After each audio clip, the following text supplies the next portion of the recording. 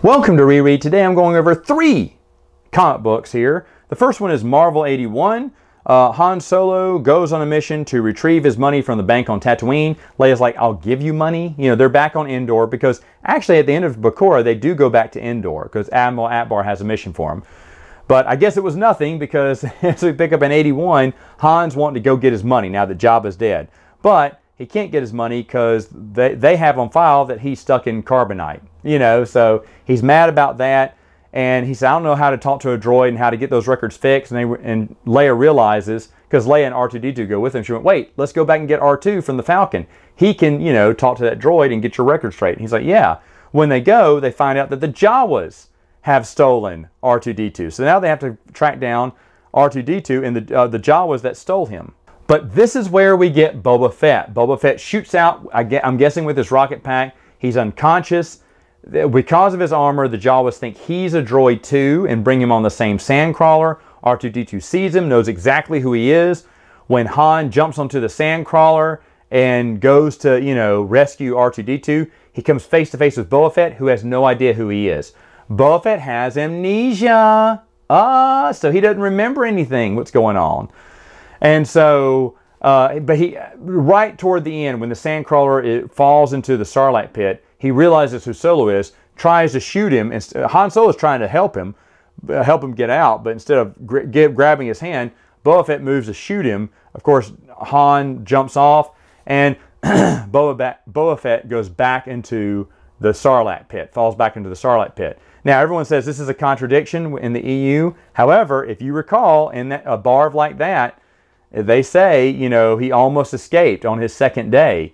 And then they say later on, or, you know, you, you, you think you will not get another chance to escape again or whatnot. So those lines there do, I, you can kind of fit this in. Issue 81, you can.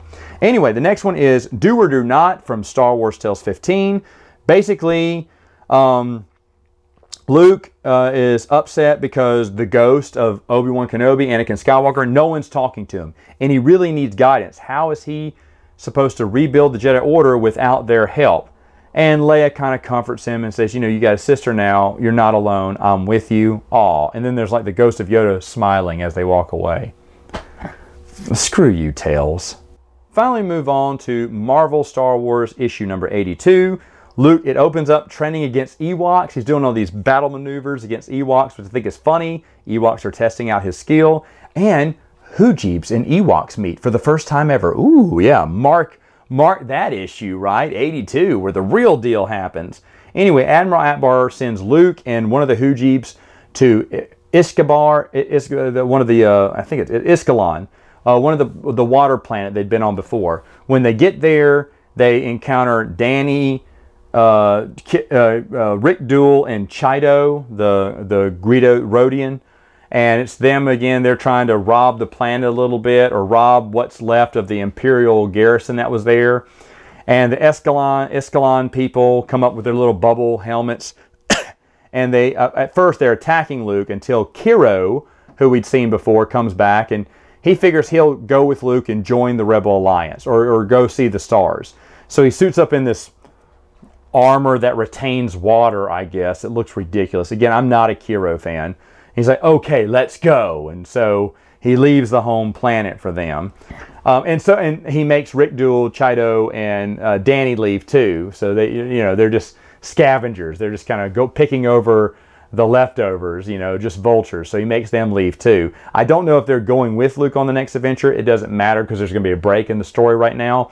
But I mean, overall, Eh, you know that it's okay. Again, I do not like Kiro. If, if you've read the Marvel comic books, you kind of see where the story's going. I'm interested to reread him, but again, he looks dumb. He seems boring.